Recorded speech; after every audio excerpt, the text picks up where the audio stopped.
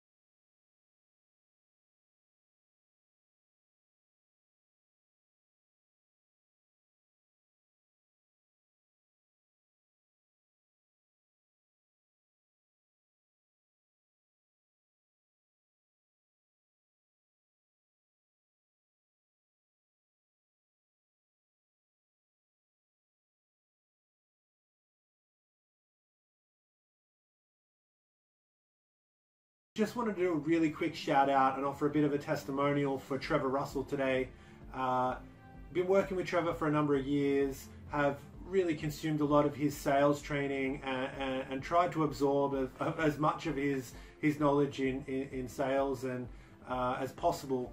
And look, you know, it's, it's really helped us go from strength to strength.